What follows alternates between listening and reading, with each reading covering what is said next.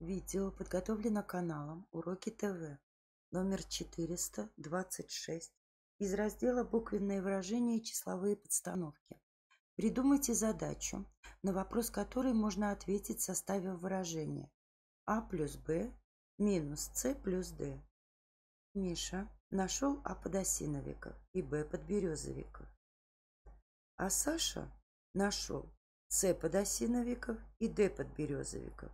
Насколько больше грибов нашел Миша, чем Саша?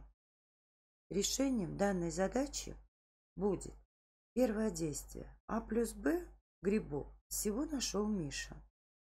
С плюс Д грибов всего нашел Саша. А. Прибавить Б. Отнять С плюс Д. Тем самым мы узнаем, насколько больше грибов нашел Миша, чем Саша. Ответ на А плюс Б минус С плюс Д. У вас возникли вопросы? Оставьте комментарии под видео.